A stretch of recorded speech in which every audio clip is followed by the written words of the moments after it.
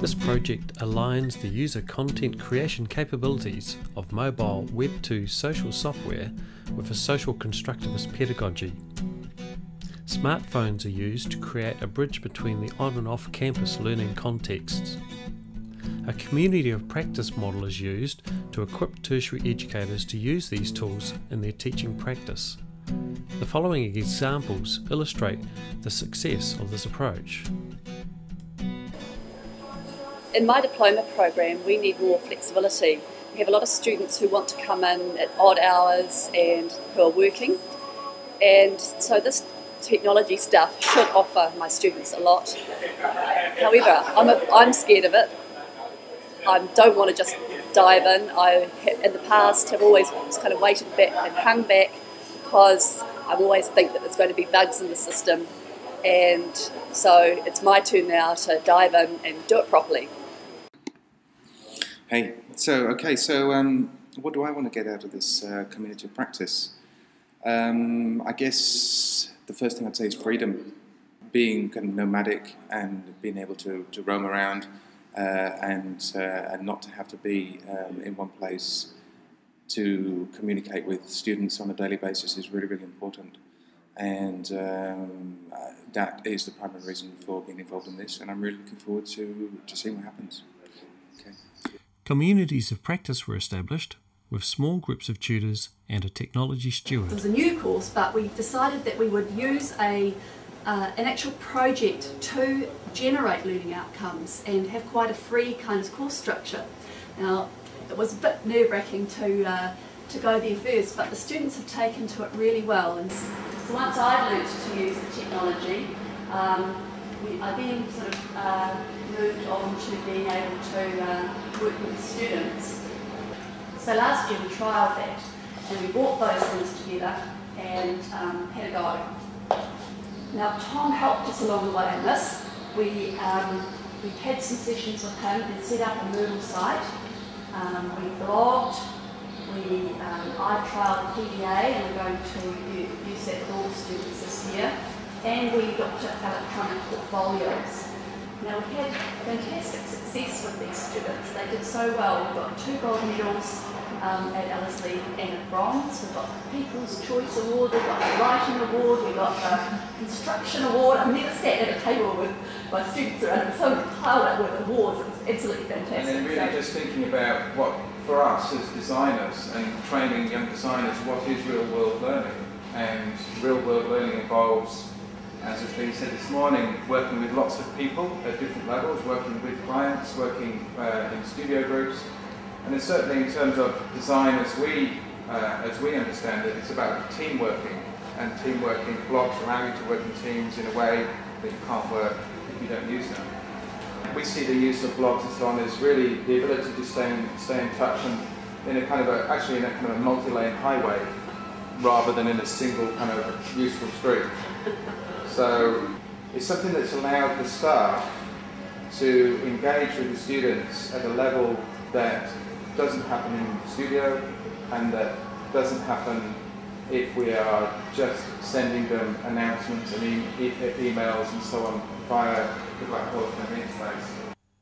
The next step was the integration of mobile technologies into the curriculum.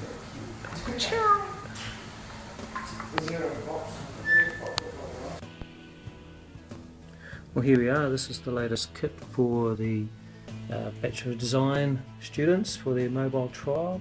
We've got the Nokia N95 handset uh, with a 1 gig memory card. Got a Bluetooth headset. Got a Bluetooth folding keyboard for better text entry. And they've got uh, a little plastic case and a screen protector to look after their devices. Very cool.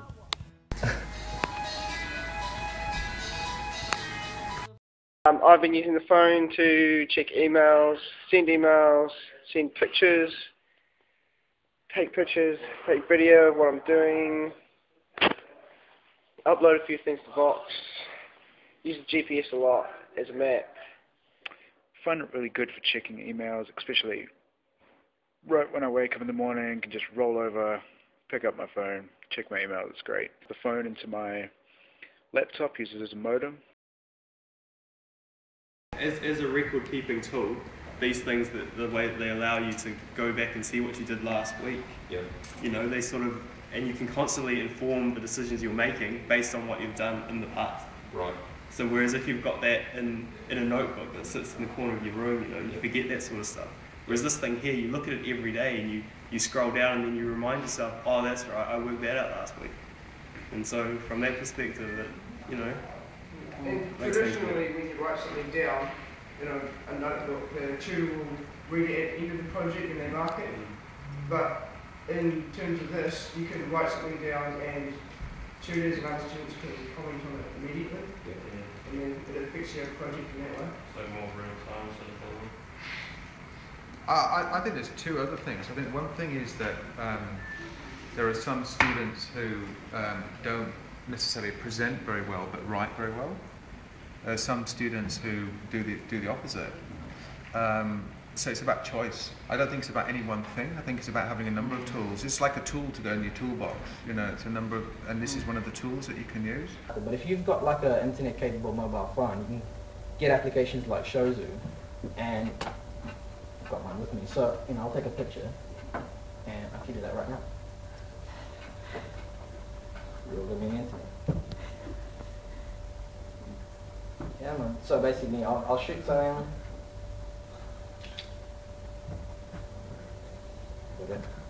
The application will load it up here when it decides to go so quickly. Anyway, while it's in that, I'll add box.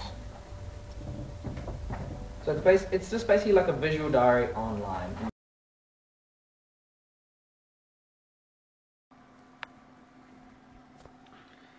Hi, uh, I just got home from uni.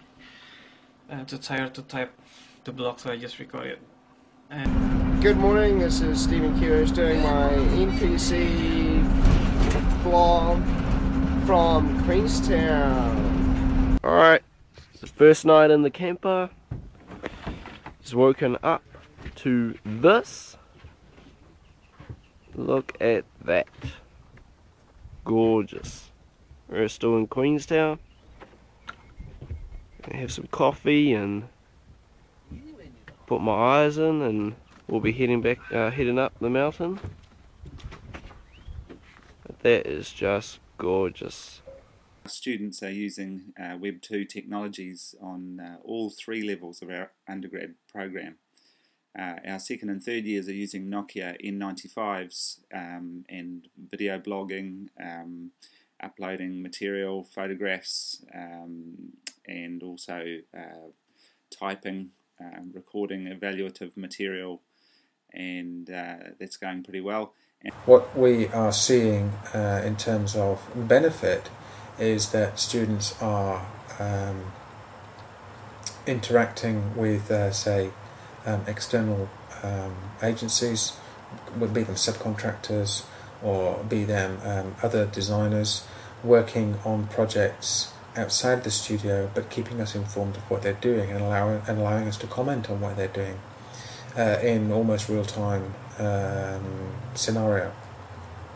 So, from our perspective, or from my perspective as a staff member, that's very interesting because it also means I don't have to be in the studio. It means that I can be in another environment and I can, using the right technologies or the right programs, I can keep track of what the students are actually doing and reply.